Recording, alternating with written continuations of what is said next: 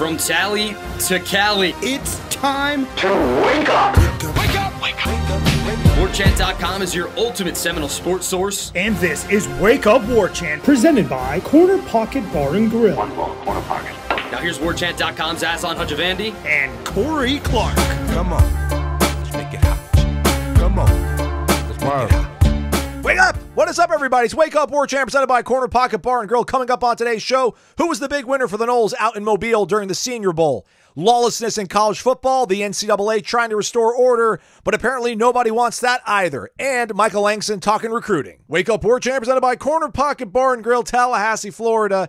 CPTallybar.com, the website, 2475 Apalachee Parkway. Physical address, top of the hill. Can't miss it. Build your own burger, everybody. Half pound black Angus burger, usually $12.99 retail. Comes with lettuce, tomato, onion, and pickle, and your choice of a side dish, which could be straight fries, curly fries, onion rings, potato salad, coleslaw, broccoli, side salad, tater tots, or freshly cooked potato chips. But today, from 11 a.m. to 3 p.m., only $8.99. That burger uh, made to your specifications. Build your own burger, half pound, all black Angus beef. Corner Pocket Bar and Grill. Warchant.com, your ultimate Seminole sports source. Thumbs up, five star rating and review. Corey Clark here, everybody. Corey Clark, how are you? I'm great, man. Thank you so much for asking. How are you? I was a very like pensive pause you had there. Very like. I was looking up something, but no, I'm great, buddy. I appreciate it. Thanks for asking. right, good. Had this thought randomly, uh, hearing people on the podcast talk about this upcoming Super Bowl and stuff, and I think I know the answer. I mean, the answer would be the same. I- I think the answer you're going to give is the same that I have, despite the fact that we have two different journeys in this life. But recent indiscretion notwithstanding, because apparently Pat Mahomes' dad uh, was recently arrested on suspicion of DWI. But like, would you rather be Patrick Mahomes? Is like, would you rather have the Mahomes experience of like being his dad, where like you had a good little run, you know, like you you threw in the majors, and then your son turns out to maybe be the best ever at maybe the most important position in all of sports. Would you rather have that journey, or would you rather be like Michael Jordan and be the guy that was the guy, and then you have some kids who are like good enough to play Division One basketball? I, I, I think the Mahomes thing is the best. Now that'd be great. Like, just give me a little taste of it, and then let me vicariously live through my son when I'm old and like breaking down. I think that'd be almost more, uh, you know, pleasurable for me than living it myself, being the guy at the top of my job. Yeah, the way I would see it is like, you know, Michael Jordan had a really fun 15. Well, I mean, it's probably still very fun to be Michael Jordan, um, more often than not. But he got he was like in the heart of competition for about what from I mean, if we start at North Carolina till when he retired the second time, probably 17 years total. Um, 15, 15 playing basketball, two playing baseball. And then after that, he's been searching for that like that next hit that next dopamine rush that comes with competition. That's why he's such a horrible gambler. He he tried to be a GM. He tried to be an owner. Like he's trying to find this competition that he he just can't scratch that itch. But when you're when you're a professional athlete like Mahomes' dad was and got to the major leagues as a pitcher, you got to scratch that itch on your own. And then by the time Mahomes was probably like 12, he's like, man, my kid might be a really good athlete. And so he gets to live with that for the next, what, 30 years? Like Mahomes is going to play till he's 40. so I, I would think that, yeah, you, you still have your foot in the pool of competition through vicariously through your kid. So I, yeah, I- I think I would, I think I would say that. Number one, just to sound like a good dad and not selfish. um, but also, I do think it would be incredible to have a son like that. And I and I think that was the most. Uh, did you watch that quarterback documentary? I still haven't. Maybe I'll. Maybe I'll, I'll. I spent my whole weekend watching Napoleon and the original Wall Street and some other random movies. Probably should have watched something more contemporary like The Quarterback, but I'll put it on the list. or the We Are the World documentary. Watch that. It's really enlightening. It's fast. It really is fascinating. Okay. That that We Are the World documentary. It's just about that night. It's just video footage from that night um, when they recorded that song. But in that in the Netflix quarterback documentary, at the end of that Super Bowl that Mahomes leads them back to beat the Eagles, the way his dad talks to him, and you know his dad had to be a hard ass. I mean, there's just no way he wasn't. Uh, just the way he is, it seems like he was probably a hard ass. But he comes up and is crying and says, "Man, I've never seen anything like you." And it gives them this long hug, like, "Man, I have never seen anything like you." Um, and I just that must be an unbelievable feeling to think, you know, to see your dad, your son is maybe the best that's ever done it would be kind of cool. So yeah. That said, I don't know. It'd still be really cool to be Patrick Mahomes and not Patrick Mahomes' dad. Yeah, that's, that's the thing too. It's like everyone's like, "Yo, you're Pat Mahomes' dad," as opposed to you're MJ. MJ probably not the right comparison because I mean he might be the best athlete ever. Yes. Uh, but you know that's what I was thinking about when I was driving and heard just uh, a couple dudes talking about how cool it must be to be uh, Mahomes' dad. But uh, I digress. Uh, would be really cool is if Ira Schoffel was my dad. That guy's a grinder. All he does is work, create content Yeah. for you folks over on warchant.com. Hit the thumbs up, give a five star rating review just because somehow we're tangentially related to Ira and his uh, universe, his orbit of creating content. He was out in Mobile this past weekend, Senior Bowl. I think it's more more apropos to call it Senior Bowl week than Pro Bowl week. That should have been the name of the Renegade Express Right. mailbag, which I forgot a question in there. We'll get to it here shortly. Looks like Jaheim Bell did well uh, in some of the individual work throughout the week. I, I saw Johnny Wilson being tweeted out. I don't think he played in the actual game. He did not. Uh, but surprise, surprise, Braden Fiske, uh, who seemed to have tried to gut it out and, play in the bowl game, but did not, uh, and then had a huge game in that ACC championship. And, you know, we, we really felt good about the way he finished off the season and what he could be. Uh, uses the opportunity out there in Mobile uh, to really catch a lot of eyes. He seemed to be maybe the, the biggest winner in terms of Florida State products that were out in Mobile this weekend. Uh, what did you take away from some of the things that happened in Mobile and what uh, Ira was able to bring back for us? Yeah, by the way, that was crazy. I saw a tweet on Saturday afternoon, like uh, from War Chant, the War Chant account, saying our Ira Schoffel's in Mobile for the Senior Bowl, and I'm like, wait, what? Yeah. What? Yeah. He's I don't. Well, maybe I'm wrong. I just don't think he's ever gone out there before. Um, and he's he went out there for you know two guys. Uh, odd, uh, but I love Well, it. It's he's awesome. work- it's something to he- do. He's working on a bigger story that's uh, Florida State centric. Uh, Oh, okay. All yeah, it's, yeah. Well, sure. Yeah. It's yeah. He's it's, not working it's on gonna a Gator story. it's gonna open up some wounds that might be healing already, but whatever. We're gonna we're gonna keep talking about that stuff. But uh, Oh, okay. All Carry right. on. Um, so yeah, so when I, I thought it was really telling. You know, obviously Fiske had a nice game. I, I saw like one of the first plays of the game. He has a TFL, just rips through the offensive lineman, tackles the running back, and then I saw another sequence where he got two straight quarterback hurries. Uh, the quarterback just had to throw the ball because Fiske was bearing down on him. The lineman had no chance, like two plays in a row, and they started double teaming him a lot.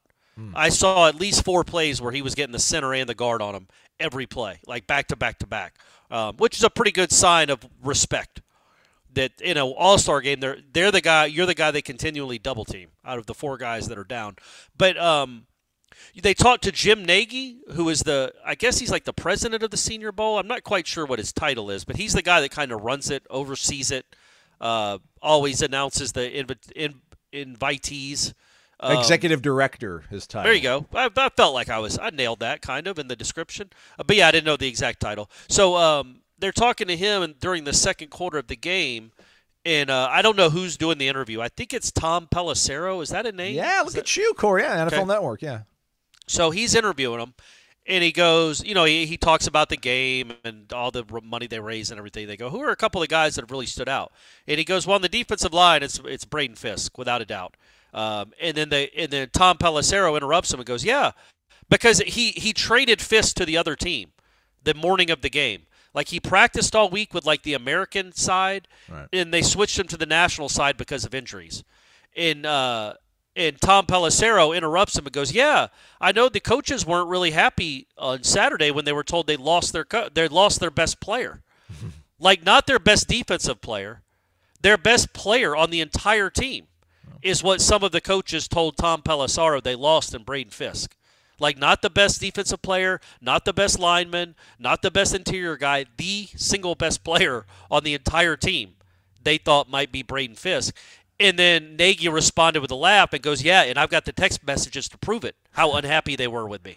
so I think that more more than what even they said about him during the week, though that 20 second little snippet told me everything about what they think of Braden Fiske, right? Like Yeah. the, the way they talked about him so just kind of casually as being the best player on the team and how mad, genuinely mad.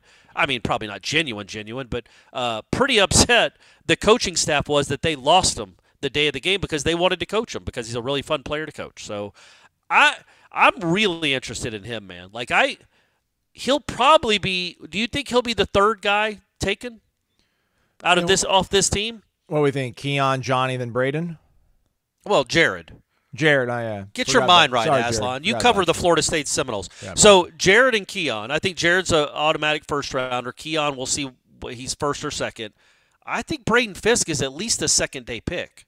I hope Doesn't so, mean he's man. the second round, but he's man. I would love the Falcons to draft that dude. He is just a guy that is going to wreak havoc, and I think is going to play in the league for a long time and make plays. I, I don't know why he wouldn't be a guy that a team would take with their second or third pick. Yeah, he kind of reminds me of uh, Justin Smith, who played at Missouri and was on the Niners for a long time and had a. Is Justin Smith a white guy or a black guy?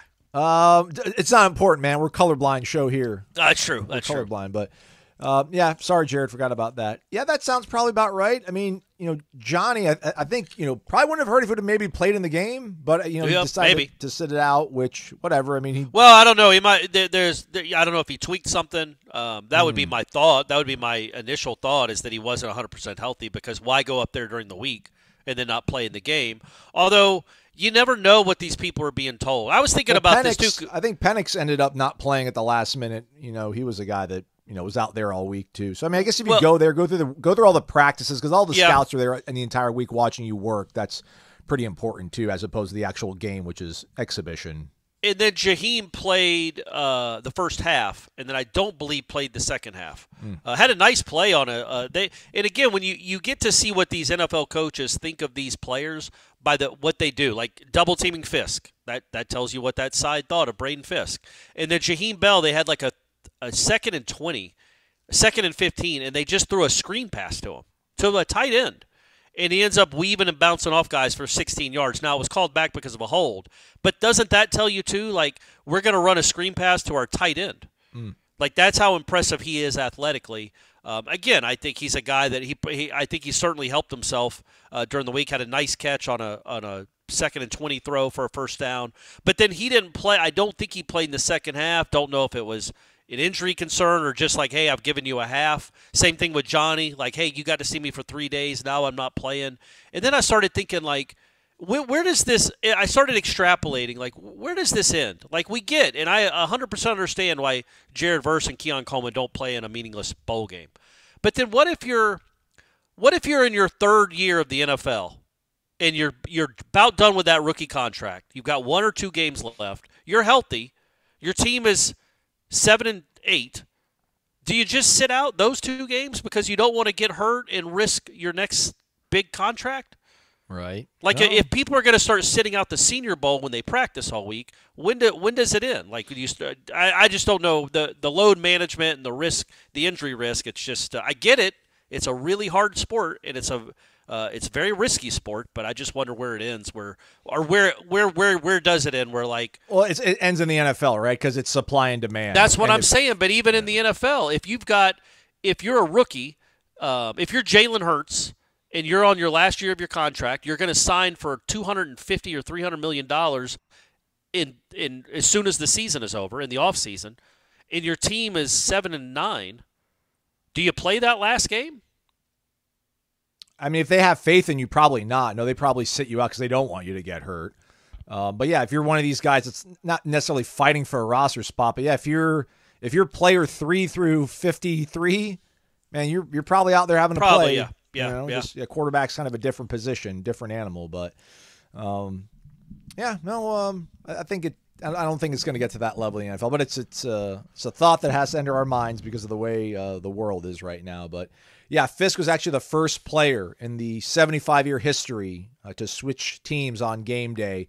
Uh, he was also named top defensive lineman of the American team in a vote from his offensive lineman teammates uh, during an award ceremony. So that just shows you uh, how talented he is. doesn't that tell you what what uh, the team the team not the, the, offensive coaches, lineman, the offensive lineman, the guys the that are getting- offensive lineman voted on that, and they awarded that to Braden Fiske. And these are guys that are going to be drafted.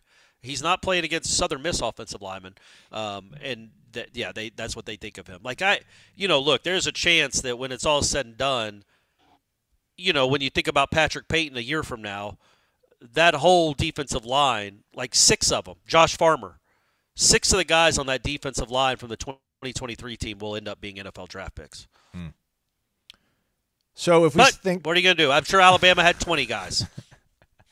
Uh, so let's say Fiske is the third guy taken. Um, do you think? I mean, it's such a physical position, but Jared's in the trenches too.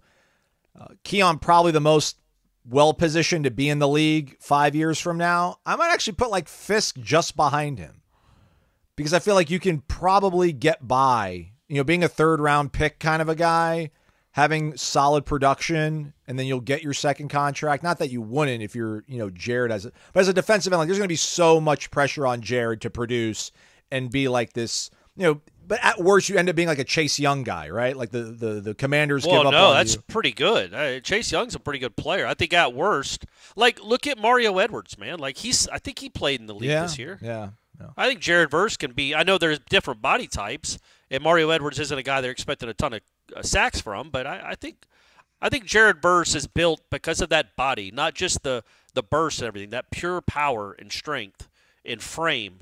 Yeah, I mean, I, I would expect him, Keon, and Braden Fiske to be in the league for a good long while. You wonder about guys like Fabian. Um, or Johnny, even to a little lesser extent, because of injury concerns and just how long the body holds up.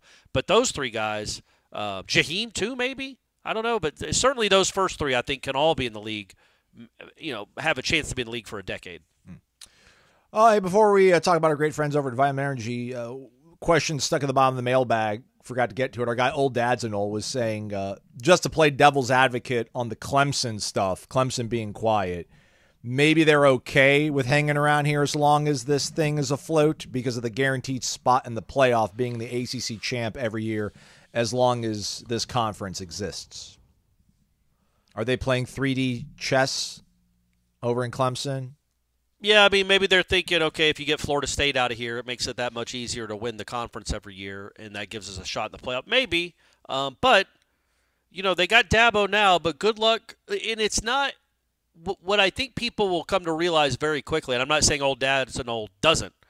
It's not just football either, where this TV. In fact, Florida State's always going to be competitive in football.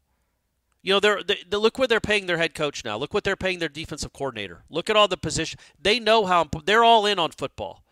What what what really is going to hurt is you know Clemson. That fan base does care about other sports, not to the extent of football, but it will get lapped in baseball. It will get lapped in softball, which they just started that program like four years ago, and it's already one of the best in the country. Everything, track, basketball. It's it's when you're giving South Carolina 35 to 40 million dollars more per year, their athletic department is making that more than your athletic department. You know, you just can't you can't compete um, over the long haul for national championships. Yeah, you can get to the playoff. I guess that's something. Maybe you get lucky, but I just you know, and also, where's NIL going? You know where where is where is this going to end up? Where team where, is there going to be a salary cap? Are they going to become employees where they have real contracts? Uh, because right now, as we saw with the Tennessee stuff, um, you know the, the, the NCAA is still trying to punish for NIL, and uh, it's weird, by the way, that the blowback from the Tennessee people with the NIL with the NIL punishment and ruling, and how it differed from Florida State. I'm not saying one's right or wrong, but that was a completely 180 from how Florida State handled it. You know, their their president wrote about how unfair it was. Uh, they threatened to sue the. I think they did sue the NCAA. Yes, they did. Yeah. So uh, Florida State handled it a little differently than that, but Florida State can only have so many lawsuits going on at a time, folks. they're they're trying to break down walls in other spots, but uh, it's a fair point. But it's like that's. I think that's so short sighted. Uh, number one, you're you're not going to be able to recruit. I don't think like you have at Clemson. Once we start seeing the fruits of these contracts, once teams are really incorporating those extra forty million dollars into their overall athletic department, into their overall football department, uh, football program, Clemson's going to have a tough time keeping up. Maybe Dabo stays, but you're not going to be able to get the best coordinators. You're not going to be able to get the best players because these other teams will just be able to outbid you. Right now, and again, I, I know I've said this before. This this sport is so stupid that the people listening to this show, some of them anyway, they feel like it's on them to pay for the football team, to literally give money so the football team can be competitive. What a crazy world we live in, where you're now asking the fans to pay for your players. So that that that just is a and the point being, these other SEC and Big Ten schools, they won't have to ask for as much from their fans because they'll funnel the money one way or the other. We'll know we'll don't know how the checks are going to clear, where it's going to be laundered, but that money coming from the TV networks will end up in the pockets of five-star football players and five-star transfers. It just will. And they're going to have more money to spend on really good players and really good coaches as opposed to and also on incredible palaces for all their sports. And that's why you see the basketball, SEC basketball has overtaken ACC basketball. SEC baseball is way ahead of SEC, ACC baseball. It's it, the SEC women's basketball is way ahead of the ACC women's. Like it's the only thing the ACC is good at, like the best in the country right now, is women's soccer and like lacrosse. That's it. So that's what that's what you're dealing with with the uh, with all the extra money. But yeah, Clemson might be playing that game. I, I guess I think it would be really dumb and it's really short sighted, and they'll regret it in 2030. But good luck. Hang in this conference as long as you can. Could this be like a weird low key pivot point, tipping point? I know this this whole lawsuit here because you know, as you said, like Florida State kind of took their medicine on this one. You know, they you know, I think they agreed to not appeal because they probably worked with the NCAA to agree upon the punishment for the whole um, you know, infraction that was committed. Meanwhile, like Tennessee, and I don't even know how really Virginia, I, I haven't really, I probably should not admit this out loud, but I haven't really looked too deep into all this sort of stuff. But apparently, here this this all hinges from you know both of these institutions, both these states saying that the NCAA shouldn't have the right to put restrictions on compensating athletes. But then all the coaches are saying that there needs to be guardrails and things are crazy. And then there's other parts of this sort of environment that want the federal government to create legislation because that's the only way. So the NCAA tries to do something here, uh, and, and, they're being shot down saying they really don't have jurisdiction on it. So right. I guess maybe at some point, maybe this is the case that kind of maybe wasn't initially thought about being uh, the, the case It's going to create some kind of jurisdiction or real you know r- rules regarding what can and can't be done, or at least they'll start following something because SEC and the Big Ten also are going to create some sort of what advisory board they they uh, announced yeah. over the yeah. weekend, which is also not a great thing for a team that's in the ACC that they're not inviting you to create the rules for what's going to be the next uh, chapter of this sport. Yeah, just bizarre stuff all the way around. It's uh that that SEC Big Ten. Can you read like the? It's like a one sentence a descriptor of what they're trying to do. If the people that don't know, on Friday the SEC and Big Ten announced that the presidents and ads, maybe coaches, but presidents and ads were going to form a committee to talk about the future of NCAA athletics and to like better be prepared for the future, something like that. I can't remember exactly how it was worded. Can you can you find that, Aslan? I'm trying to locate here on my uh, computer here, but yeah. So the uh, SEC and Big Ten form an advisory group to address significant challenges uh, the, the quote that Corey's trying to get to address the significant challenges facing college athletics and the opportunities for betterment of the student athlete experience. So, what, what, what is so amusing about this is those are literally the two conferences that ruined college athletics. They are the reason we are in where we are in, what we are in right now. And I shouldn't say ruined it because I still love college athletics. I still love college football. I sometimes like college basketball, depending on how Florida State looks, and it was god awful on Saturday night. Um, but uh, you know, I, I, do like college athletics, but it's like, look, man, why why do you two you you have never once in the in the last 20 years, last five years specifically, cared once about the betterment of college athletics? Because if you did, Oregon State would have a conference to play in, and the Florida State wouldn't be suing to get out of its own, and you wouldn't have just pillared the Big 12 for its two best pro. Like you would have allowed that all in the Big 10. You maybe you don't pillar Los Angeles for their two marquee programs. Maybe you maybe you do care about the sport, the actual sport, the betterment of college athletics, and you let everybody eat. But no, you guys wanted to be greedy and only let yourselves eat and ruin everything else. Literally try to implode the rest of the sport, the rest of those conferences. To now, a women's volleyball player at UCLA has to go play at Rutgers that's for the betterment of college athletics. You know, SMU and Cal and Stanford now have to go to the East Coast to play games. It's preposterous. So don't miss me with what you're trying to do. I hope you come up with some sort of game plan for all of us. But no, why would we think the SEC and the Big Ten would do anything but care about the SEC and the Big Ten? And the rest of y'all can go crumble into the ocean. They're the only conferences that matter, and it's just very, very rich um, and hypocritical for them to say anything about trying to improve the betterment of college athletics when they have been the biggest reasons college athletics is where it is now. Well said, Corey. Thanks, buddy. I appreciate that. But hey, if we can join one of those conferences, let's get there, gang. I'm not. I'm not.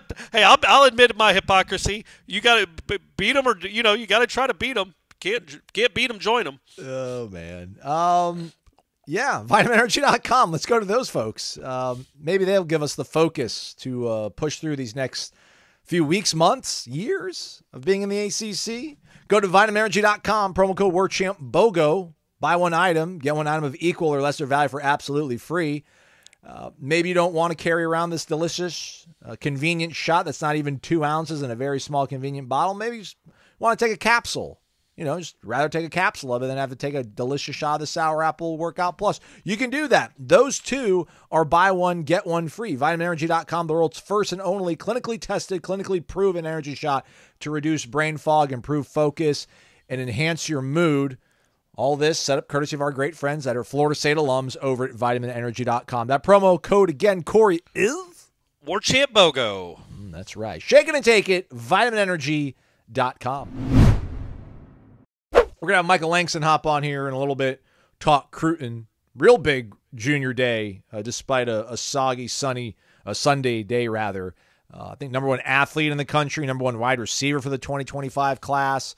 Uh, they also added that defensive end. I think Amari Williams, uh, the young man's name for the 24 class. Yeah, uh, so kind of came out, and I, I guess I just wasn't even clocking that. I didn't know there was anybody left to commit. It don't stop, man. It don't yeah. stop. There's always something, somebody. So Michael will keep us uh, informed abreast of those developments. So stick around for that. Uh, you did mention in passing, Corey, the basketball game against Louisville.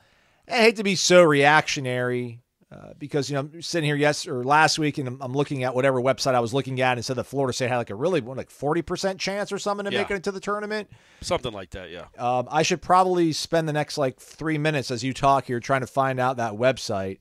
But I can tell you, it's gone way down. yeah, right. you don't have to look; it's gone way, way down. How did they lose to? Louisville? I mean, Louisville is the Awful. embodiment of every. I mean, they're even worse than what Florida State was last year. It feels like. You know, it's weird. It's kind of a uh, it's kind of a bad matchup in this sense. Try to stick with me, folks. It's an awful loss. I'm not excusing it. Um, it is such a loss that it, it really it shouldn't. You talk about being reactionary. It's such a bad loss. It made me wonder. Okay, will there be a change made at yeah. the end of this year? Yep. That is how bad a loss it is. Because Louisville had given up. It, it, they're awful. They're one and nine on the season. But what did what? And they don't play hard. They don't try. And yet you you tried less than them. You couldn't guard them. Well, I shouldn't even say you could. So what Florida State does, as we all know, is they bring up they they want to they want to guard the point guard 94 feet. The, the, Louisville does have a very quick, good point guard, and if he's playing well, he's he's a nice player, really nice player. But what Florida State does well defensively is most teams have real sets they like to run. They have shots they like to get. They try to get everybody involved with passing and, and setting screens and coming off screens and they have all these sets they want to run. Well, you can't do that against Florida State. Their whole goal as a defense at Florida State is to not let you run what you want to run and make guys beat them one on one and just take them out of what they normally do. And it typically has worked for 20 years. It's worked to a pretty uh, to a pretty good degree this year in conference, where you're just making Miami. Miami doesn't get to run what they want to run. Their point guard just has to go into the paint and try to make something happen, and it gets tiring and it gets hard, and it's not what they're used to doing. Well, Louisville doesn't care about running sets. They are not a self selfless team. They're guys that just want to get shots up, that just want to go make plays. They don't care about getting teammates involved. And the point being, they're the ba- they're a bad matchup for a team that tries to get you out of what you want to do because Louisville doesn't want to do anything. Hey, man, if you get a shot, just shoot it. If you can go to the basket, just go to the basket. And so what they have is a quick point guard. You're trying to guard him with six seven, and it is an utter mismatch.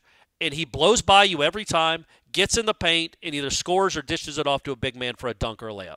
And it happened the whole night. Giving up 100 points to that team is absurd. And it's not just that they didn't play hard. Because I don't it's they weren't just sitting there flat-footed. They are horrible matchups.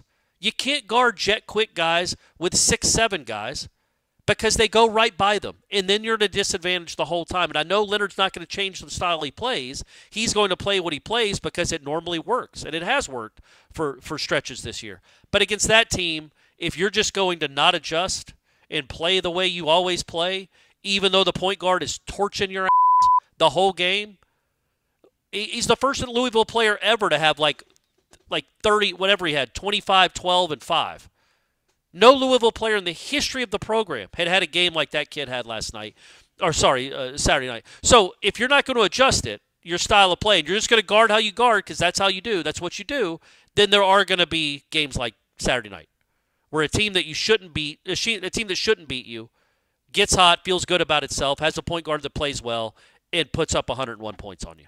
And you're not going to adjust because you don't. Um, again, I'm not. That sounds like a critique you know they do it. You, they do what they do, and they usually do it well. Uh, this past Saturday night was not a time they did it very well, and it was it's very very frustrating loss. It ends their it ends any hope. It ends any hope of them making the NCAA tournament. You can't come back. They already had a home loss to Lipscomb. This is as bad a loss as that one, almost. Um, and so now you have like two or three. You have two like quad four awful losses. Well, you, there's not enough games to make up for those losses. And there's no reason to assume they'd beat the good teams anyway. But, you know, losing that game pretty much ends the season as far as goals you're trying to get to, attain, stay afloat, stay on the bubble, get on the right side of the bubble. They're not going to be there. They, that was a horrible, awful, almost season defining loss. And where do you go from here with still whatever? What do you got? 12 games left? 14 games left? Something like that. Ty-Laur Johnson name of the young man Corey is referencing, guard for the uh, Cardinals there. Uh, first game of the season, Louisville had scored more than 100 points. Yep. Uh, they ranked 216th in the nation, averaging under 73 points per game. Yeah. Uh, they were 6 and 15 coming into that matchup, Louisville. 1 and 9 in the conference. Yeah, so. But TeamRankings.com still has them as a 34% shot of an at large bid. Well, that TeamRankings.com is not getting my. Uh, uh, but, yeah, well, it's not, or uh, they don't. We don't need to mention them anymore. I mean, that's their. I'm not. I don't think they have a lot of credibility uh, if they think Florida State has a 34 percent chance of making the tournament. Yeah. Uh, they just. I mean, they were they were on the outside looking in anyway. But you can't afford horrible losses. Well, I know and that was a horrible, horrible loss. Well, like at two in the afternoon, watching ESPN, and they're just talking about all the games that are coming up later on Saturday. Obviously, Carolina, Duke, and you know they mentioned the ACC is. I mean, they said like with such definitive uh, sort of certainty. They, you know, ACC is a three-team league this se- this season. Three, yeah, three bid league. Three bid league. Sorry, yeah, yeah, three bid league. Sorry. Um, and I'm like, well, dang. I'm like, what about TeamRankings.com, Florida State? that's right. you know, but um, man, just yeah, that's a that was a brutal loss. Uh, that you figure that was out of the system. Again, I don't know if they were going to make the tournament or not, but you felt good about the way that they'd been playing, and you just figure that they wouldn't take such a huge stride back. Well, look, it's either it's two things, right? It's either they weren't prepared well. They didn't adjust at all. They weren't well coached in that game to give up 101 points. I'm talking about. Week uh, off was a little bit odd too. I don't know. Maybe that was more obviously. What? They had like a whole week off too. That was. Oh well, yeah, yeah, that doesn't help. But it's like so. And it's not like a team that they just got red hot from three. Like sometimes that'll happen. A team will hit 15 to 21 from three, or 15 to 30 from three. And you know, even if you're guarding them, sometimes they just make a bunch of threes. It's like, well, what can you do? I think Louisville only hit like three threes. They just killed them by getting in the paint and getting into the rim. So either there's two things. Either correct. They you, both made you, three threes each team. Right. Uh, you know, of course, Florida State only made three because they can't shoot. But you you either may you either defensively had a horrible game plan, but it's not. You can't even say that. It's just what Florida State does. They you know what they're going to do. You just know it's like uh, We're you, base. You know, it's playing base. You know Syracuse is going to play a two-three zone when Boeheim was there. You just knew it. Yeah. So some of those teams played it much better than others, but you knew what they were going to do. So if you're just going to do what you're going to do defensively, so either you didn't adjust, which is uh, something to criticize, or your team just didn't play hard or smart at all. But either one of those isn't a good look for your program. Either you can't you can't identify what's hurting you. You gave up 47 points in the first half. Now they get they shot a ton of free throws. Learn to guard without fouling. The, the Louisville shot a ton of free throws. Some of it was late in the game when Florida State was trying to get back into the game. So even if their real score should have been like 91, that's still way too much. That's incredibly bad to play defense. So either the team wasn't into it emotionally, didn't play hard, didn't have a lot of juice after a week off. That's a bad look for your program. Or you didn't adjust to a, a really a horribly coached basketball team and you let them do whatever they wanted to you offensively because you wouldn't adjust. That's a bad look. Either way, it's like the things that I thought about this team two weeks ago I still think they're better than they were last year, but it's like what's what's not clicking, man? That's an embarrassment. It is a straight up embarrassment to give up a really 100 points in any college basketball game. How often do we see that? Yeah. Once a couple years?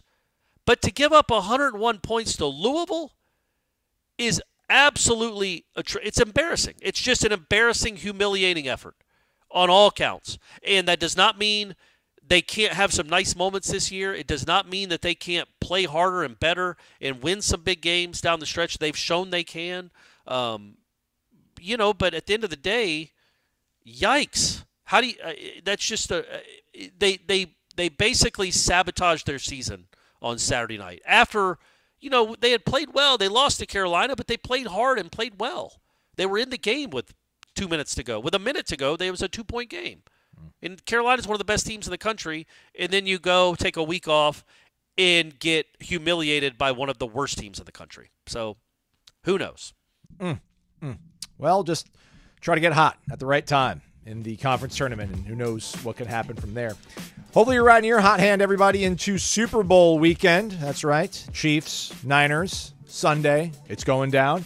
Head to mybookie.ag. Use our promo code WARCHANT for an instant cash deposit bonus.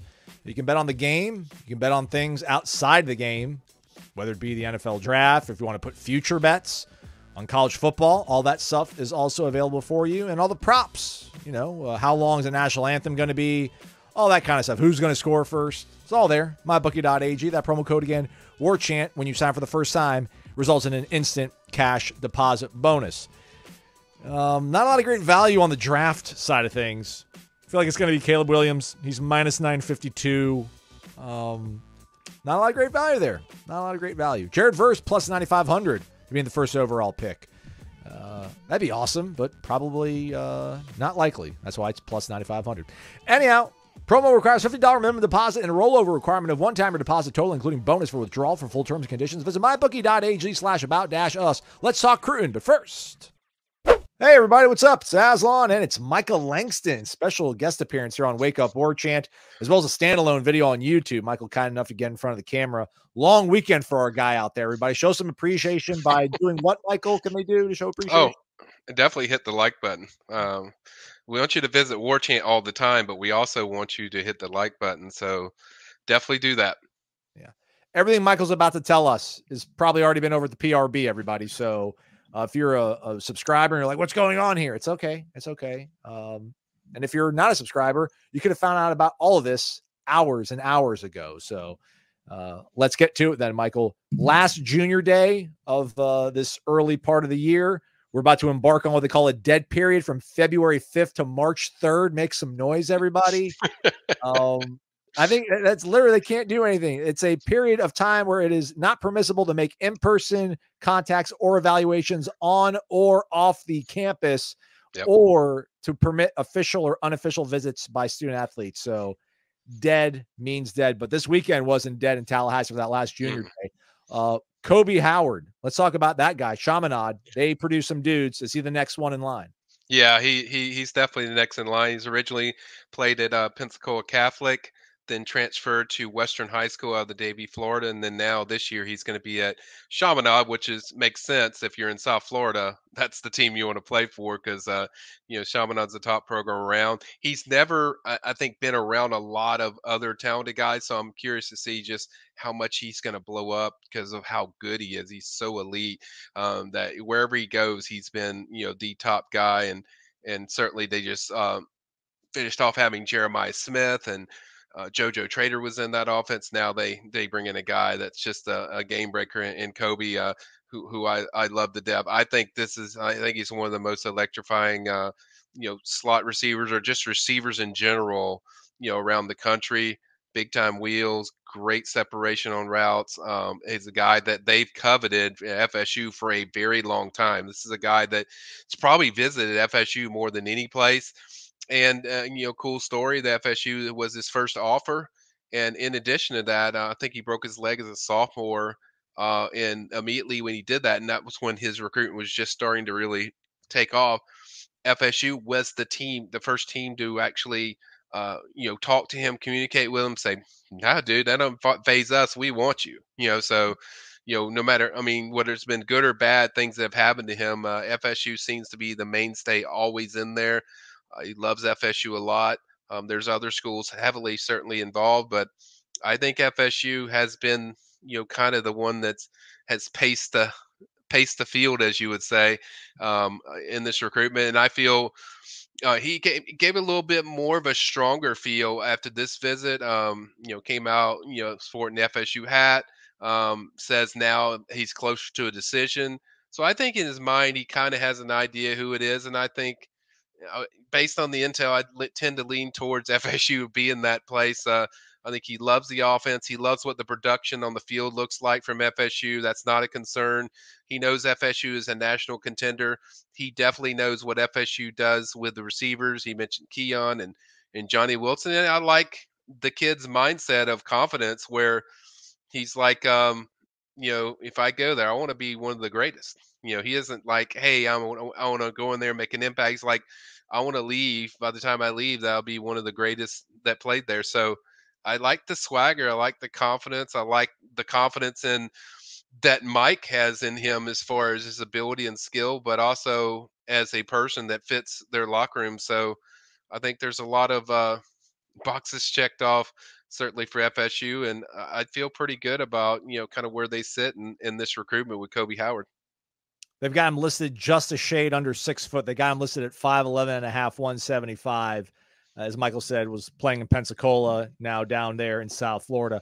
Mm-hmm. Michael, I don't know in terms of like a timeline or how many other visits you think he's going to take. Uh, is he a guy that's going to want to take some officials during a season to figure out where he wants to go, or do you have any feel for that?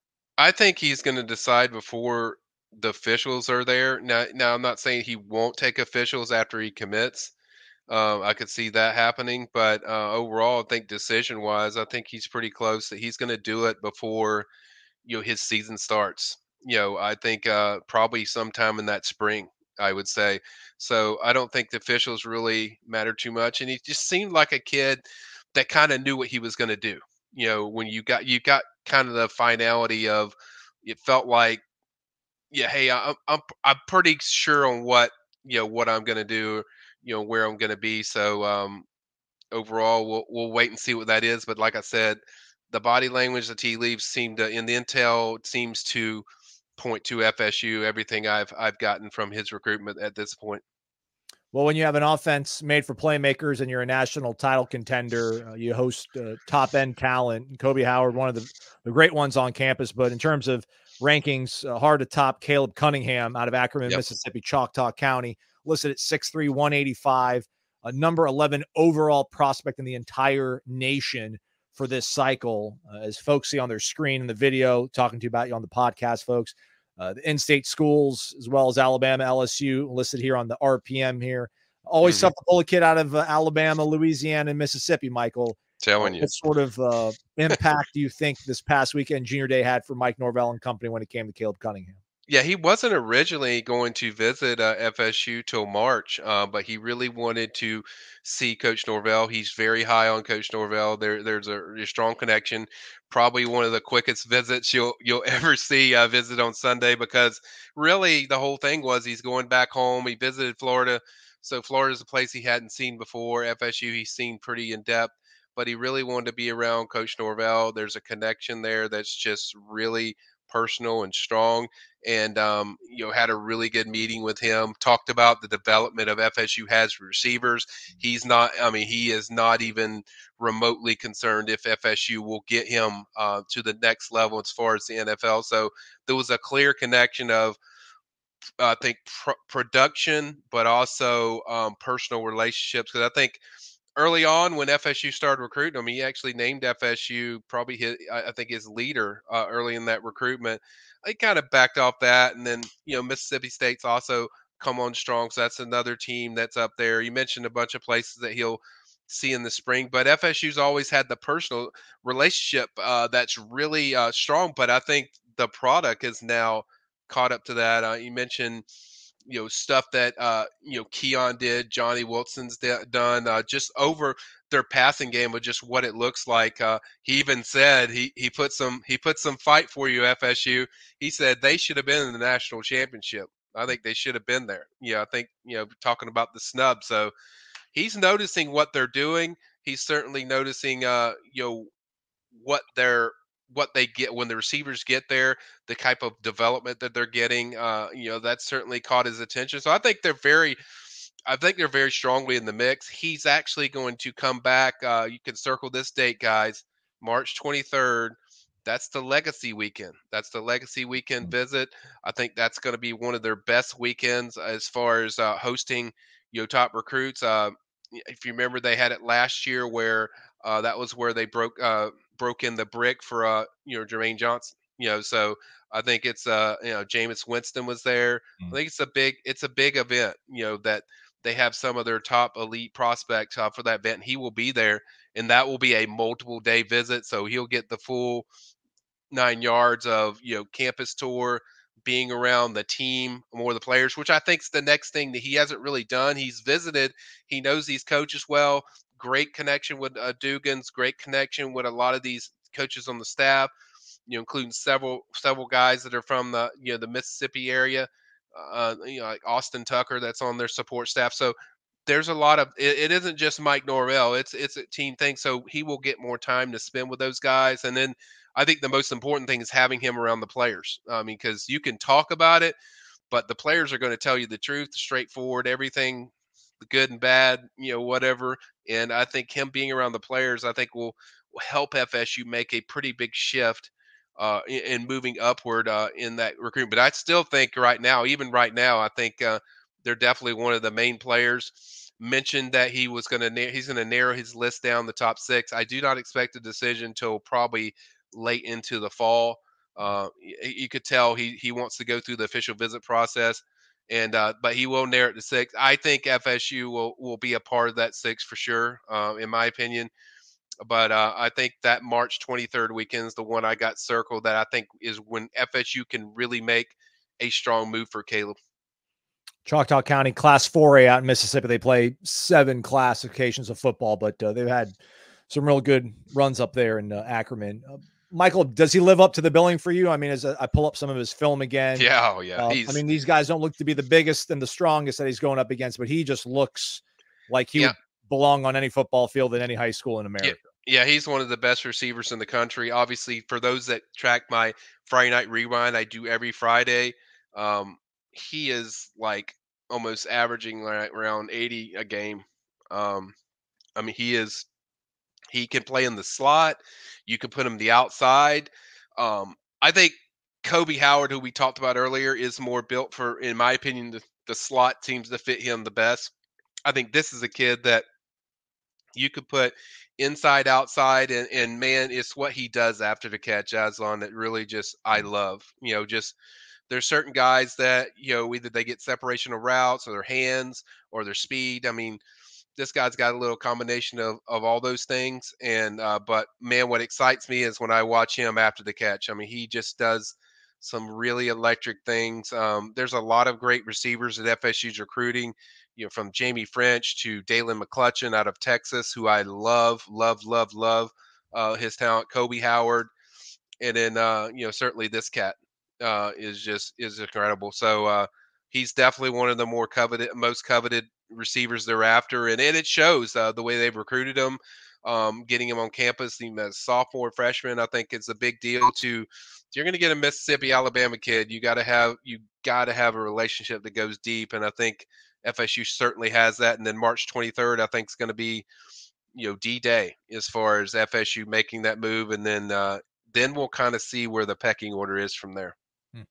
Well, let's move it closer to the football, then closer to the line of scrimmage, the actual line of scrimmage. Michael, Mm-hmm. offensive lineman, always at a premium for Florida State. Uh, guys like Cardi Smith, is that how I pronounce? Uh, is it Cardi Carday? It's Uh, actually Carday Smith. That's how you pronounce it, Carday.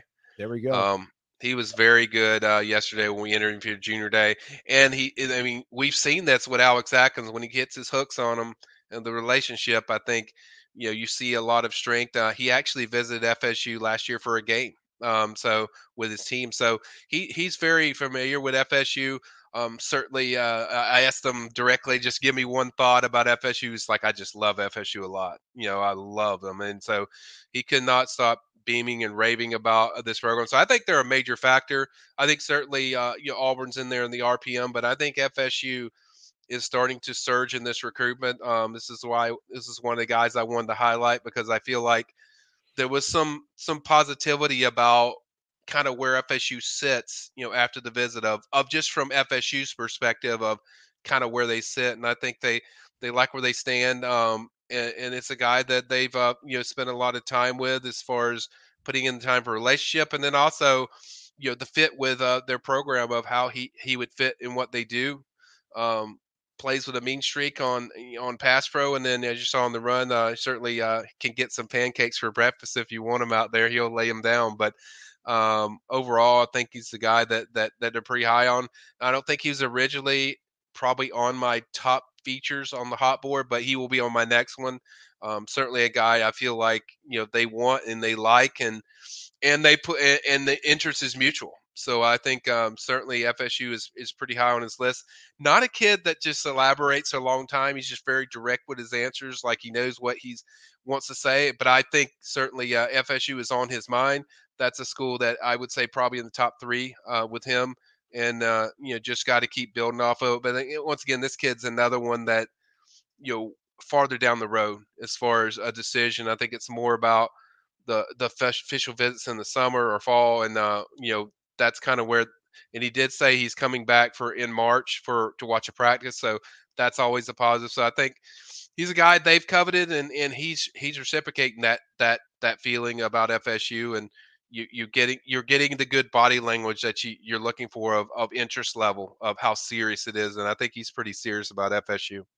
Six six three hundred pounds uh, out of uh, Mobile out there in Alabama. So uh, good pedigree, good stats, good measurables.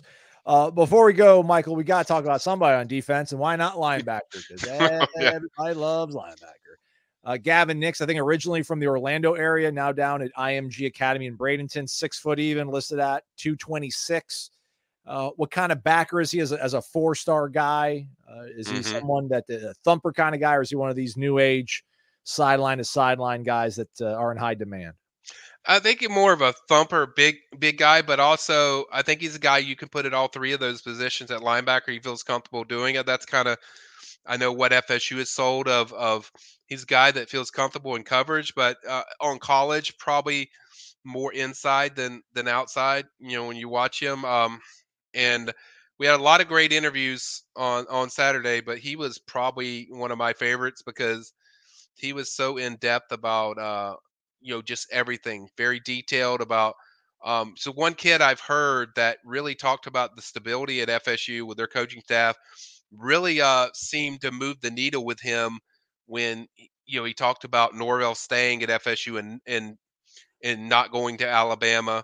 Uh, I think the fact that their staff has has been pretty consistent throughout the years, and two, the trajectory of where they're going.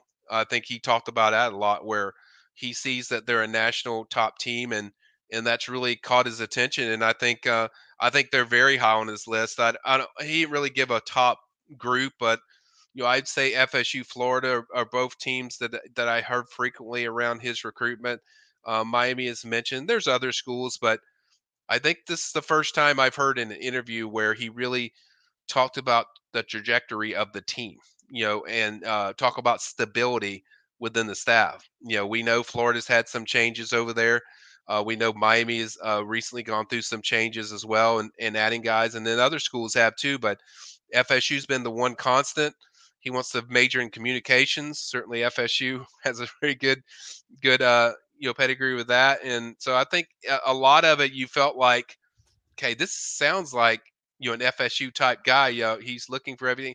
Loves Shannon, loves the knowledge that Randy Shannon has with the position. He's noticed a lot of what they've done with Kalen DeLoach and Tatum Bethune, and he just likes uh, the freedom that, that that they give their linebackers uh, to do a lot of different things, and and he feels uh, you know he say felt really comfortable uh, when he was around uh, when he's around FSU, and um, certainly expect him uh, to take an official visit to FSU. Definitely expect him to you know take another visit in the spring. So I think he's it's a program that's trending up for him, and I think this this visit really seemed to have a strong impression on him, both on the field and off the field. You know, with Gavin, I think it was more just.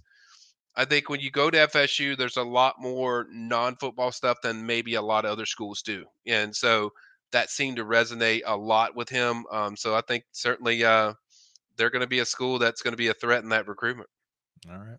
Plenty more over at the PRB. Uh, we'll let you get to vacation, but just one last thing on the way out, though, Michael. Just you know, they've they've had elite camps, they've mm-hmm. had junior days, they've had talent on campus here the last two three years. Any different vibe for you overall? Feeling maybe not even so much vibe, but just level of talent overall. Is this a little bit of a different junior day these these last three weekends in Tallahassee? I think it's been a little higher. Uh, in talent, but I think the Caleb Cunningham like visit to on Sunday kind of spoke a lot about where this FSU is at as a program. They just want to visit, even if it's just stopping by.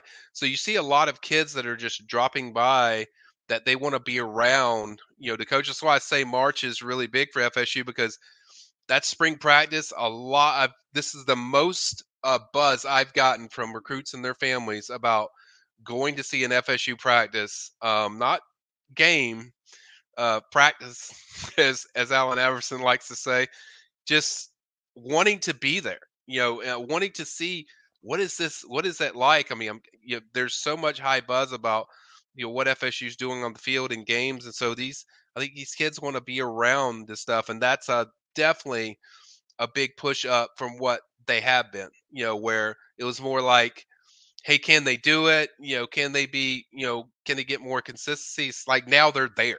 You know, it's like that's that's the impression I get from recruits. So it's definitely there's a lot of buzz about them. There's a lot of excitement, and I think uh, the big thing that's really I think taking them to another level is the development of these positions that they play. You know, they see the development. It's different. You could say development. It's another thing when kids can see it with their own eyes of what the players doing at their certain positions. So I think FSU's certainly accomplishing that, and I think now it's just about the consistency of doing it year in year out every year. Uh, we've seen it for two years now. You, can you see it for like six or seven years? You know, and so I think that's kind of what kids are looking for. But overall, I don't think the excitement's been any higher than it, it than I can remember since maybe the Jimbo Fisher days of where you expect FSU to win 10 or 11 games. I think that's the expectation every year that this team's going to be in the playoff. Hmm. Hey, Michael, put that phone on Do Not Disturb and enjoy yourself, man. you got it, man. He's Michael Langston giving us the latest. Always check out the PRB. Him and Matt got you guys covered. Thanks again. You got it, bud. Hey, thanks to Michael. That was good. 20 minutes of Cruton talk, everybody. You could get all that over on the PRB. That's the premium recruiting board over at warchant.com. He and Matt Lasser keeping that thing populated with information and intel around the clock all the time. Go check it out. Subscribe. Again, hit the uh, thumbs up if you could. Five star rating and review on the way out. Well, maybe we'll read one this week. Uh, we're going to have an interview hopefully this week uh, to mix it up in the podcast. So we'll have a uh, maybe not just a one on one with Corey. Maybe I'll hop on there and ask some questions, but we'll have something to, to mix up the monotony of these off season pods.